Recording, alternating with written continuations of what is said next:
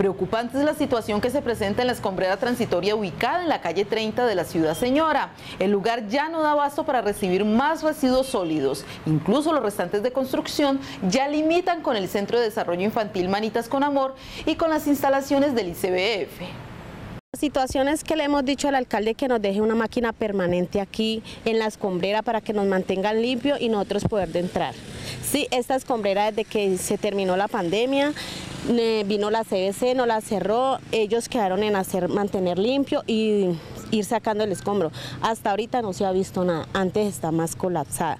El alcalde en vez de mantener una aquí una máquina, cuando puede la manda, pero nosotros vivimos del día a día del escombro, ¿no?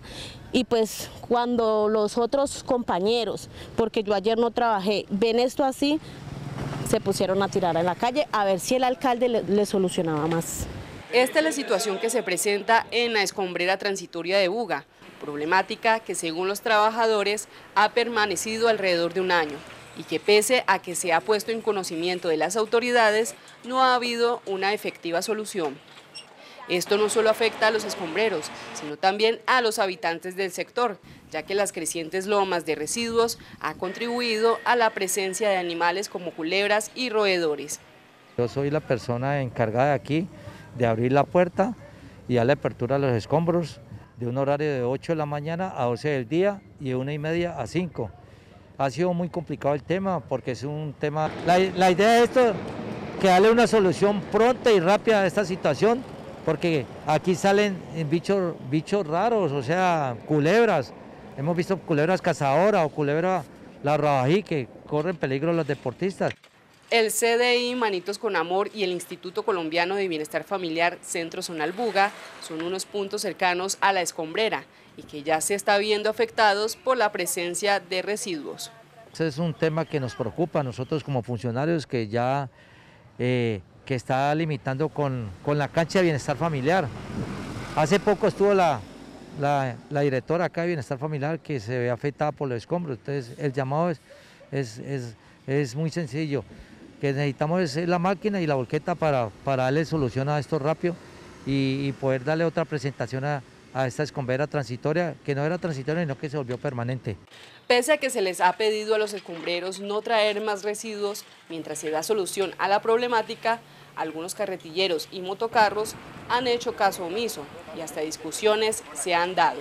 El señor Galo rechaza a los carretilleros diciéndoles de que no se puede vaciar afuera o tal y tal cosa.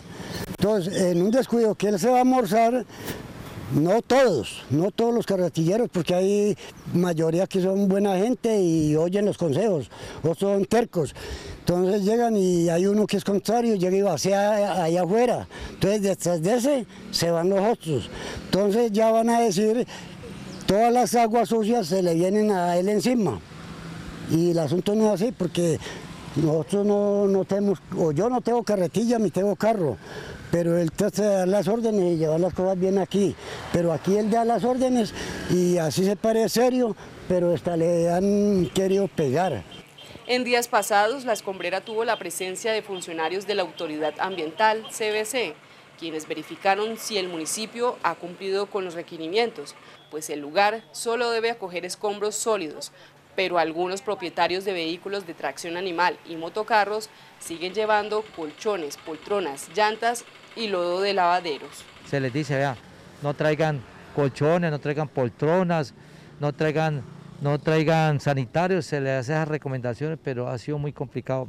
Entonces hacemos un llamado a la administración municipal, a la Secretaría de Gobierno, a la Secretaría de Movilidad, porque son vehículos de tracción animal y son motocarros a la Secretaría de Obras Públicas con su maquinaria y a la Secretaría de Agricultura, porque esto es un trabajo que nos compete a todos, esto es un trabajo que es temas de ciudad y que preocupan porque es contaminación y escombro en vía.